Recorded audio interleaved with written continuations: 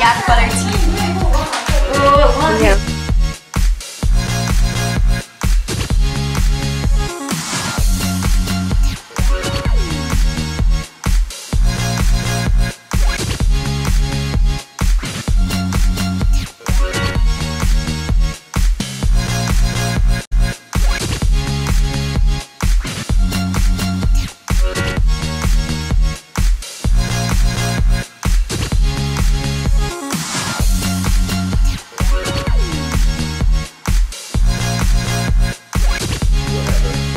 Blood sausage, pig blood, and wheat flour.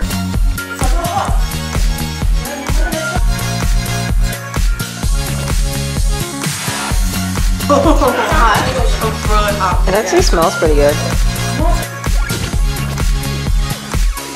That's really good. Blood.